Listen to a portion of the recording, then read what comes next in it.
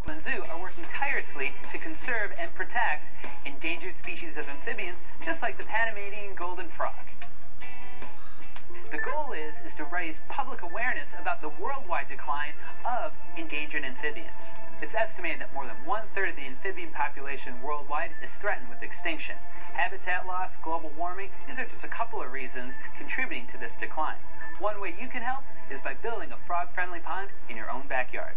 So you want to recreate a habitat to attract local frogs. You don't want to introduce any non-native species because they'll just spread disease and contribute to the problem.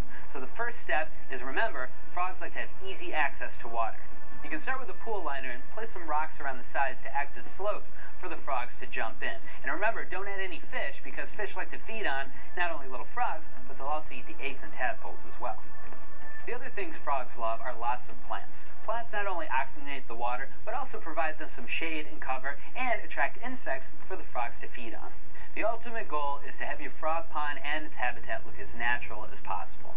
You don't want to use any chemicals around because frogs and other amphibians breathe through their skin and can absorb those toxins into their own body. Not only will you have a great frog habitat in your own backyard, but you'll do your part to help save a species. And now you know.